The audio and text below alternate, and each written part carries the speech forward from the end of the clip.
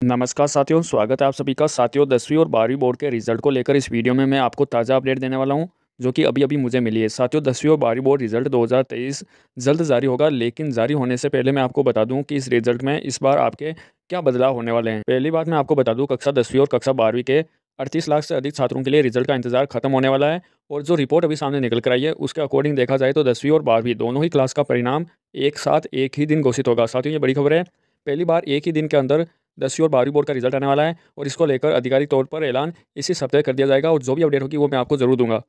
इसी के साथ कक्षा दसवीं और कक्षा बारहवीं की परीक्षाओं में बैठे विद्यार्थियों के ऑनलाइन मार्क्स बोर्ड ने मंगवा लिए हैं, यानी कि जो जो स्कूल अभी तक ऑनलाइन मार्क्स नहीं भेजे हैं, उन स्कूलों को साफ़ हिदायत दी है कि वो अगले सप्ताह तक सभी मार्क्स बोर्ड कार्यालय में सौंप दें।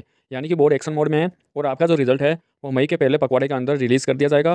कक्षा दसवीं और कक्षा बारहवीं के रिज़ल्ट पर अभी बोर्ड ने कॉपियों की जाँच पूरी कर ली है और मार्क्स जैसे ही स्कूलों की तरफ़ से आ जाएँगे तो आपका रिज़ल्ट अनाउंस कर दिया जाएगा। बोर्ड परीक्षा 2023 के रिज़ल्ट की हर अपडेट पाने के लिए आज ही चैनल को सब्सक्राइब कीजिए। मैं आपको बोर्ड परीक्षा 2023 की हर अपडेट सबसे पहले दूँगा।